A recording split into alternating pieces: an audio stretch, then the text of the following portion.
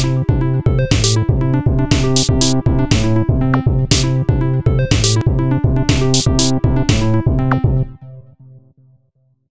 everyone, this is Scott Wyden Kivowitz from Photocrati. Today I want to show you uh, how to display your images in full size. So um, that is a question that we get a lot is, you know, my images are big, but they're coming out small.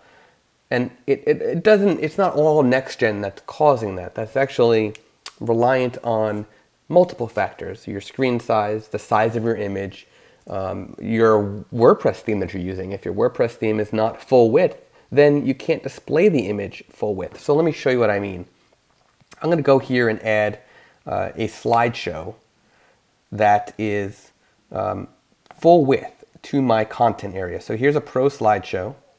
I'm going to add uh, my home gallery and I want my gallery width to be 100%, show play control. I'm not even going to show captions um, and I'm going to turn on the display triggers and let's just save that.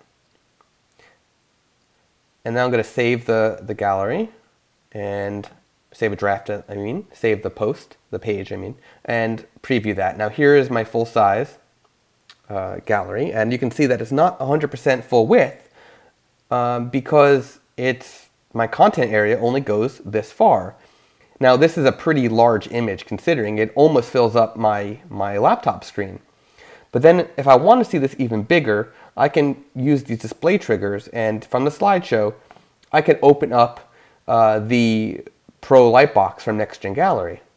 And you can see here that again, the image I uploaded is not full width, but some of them are actually larger than the others. So you can see this one's much larger. And this one I know uploaded recently was really big. So now this is still not 100% my full screen, but this is the Pro Lightbox.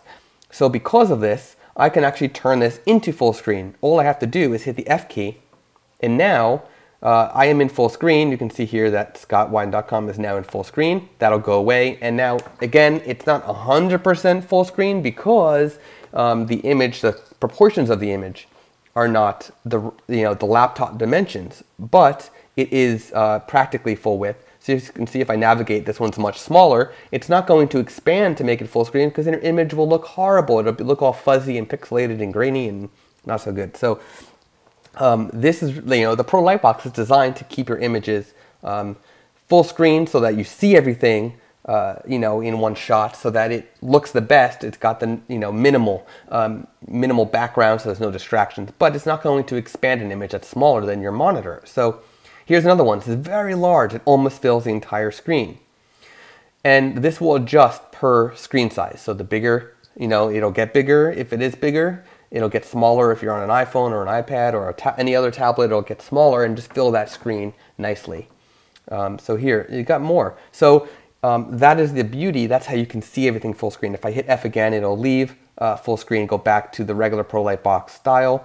I can hit escape and exit out of that. And again, I'm back to the slideshow. So full width really depends on the WordPress theme that you're using, how big, you know, how wide is that content width. If you're using a WordPress theme um, that goes edge to edge, literally edge to edge of your browser window, and you put in a NextGen Gallery that um, goes full width, if you have it set to go full width in the content area that is full width, then your gallery will be 100% full width.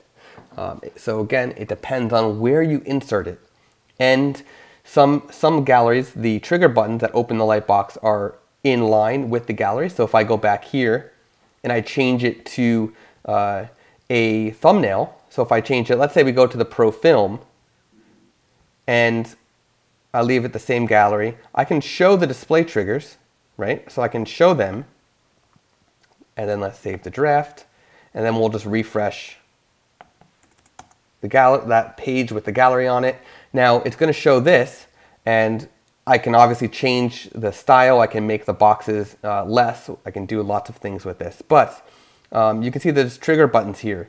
If I hide those, it doesn't make a difference because I can still click on an image because it's a thumbnail gallery. Thumbnail galleries, you can click on the image to bring up the lightbox. On a slideshow, you cannot click on the image because that will just change the photo in the slideshow. So um, again, full width, it all depends on your settings. It depends on the size of your image, and it depends on how wide your content area is where you're inserting that gallery. So all these different factors come into play.